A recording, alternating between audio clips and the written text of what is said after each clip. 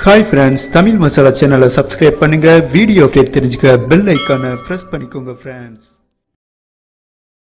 France India vs New Zealand முதல் ODI match tomorrow seven தேர்ட்டிக்கு start பண்றாங்க. ஹமில்டன்ல பிகல்தனமா ஸ்டார்ட் பண்றாங்க.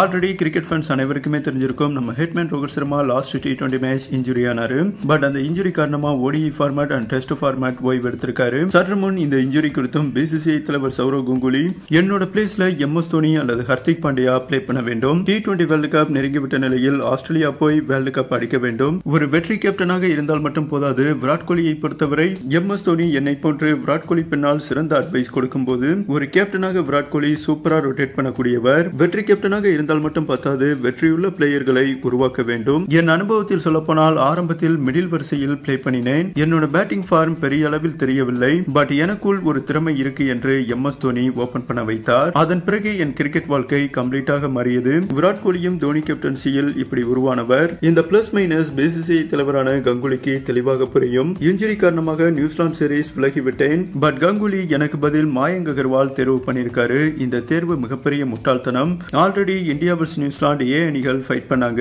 அதில் சிறப்பாக play பண்ணியவர் opener batsman பிரித்யூசா Shikhar Dhawan பிளேஸ்ல ஆல்ரெடி அவர் ஓபன் பண்ண போறாரு. ராகுல் நல்ல ஃபார்ம்ல இருக்காரு. மெச்சூருடன் பிளே பண்ணுகிறார் இளம் பிளேயர் பிரித்யூசா ஓபன் பண்ணும்போது ராகுல் நல்ல அட்வைஸ் கொடுத்து சிறப்பாக மேம்படுத்தி விடுவார். பட் இந்த சூழலில் பேக்கப் ஓபனர் தேவையில்லை. நியூசிலாந்து மண்ணில் ஓடிஐ சீரீஸ் வின் பண்ணுவது எளிதான காரியம் அல்ல என்னோட பிளேஸ்ல எம் எஸ் தோனி பிளே பண்ண வேண்டும். டி டுவெண்டி வேர்ல்டு கப் நெருங்கிவிட்டது.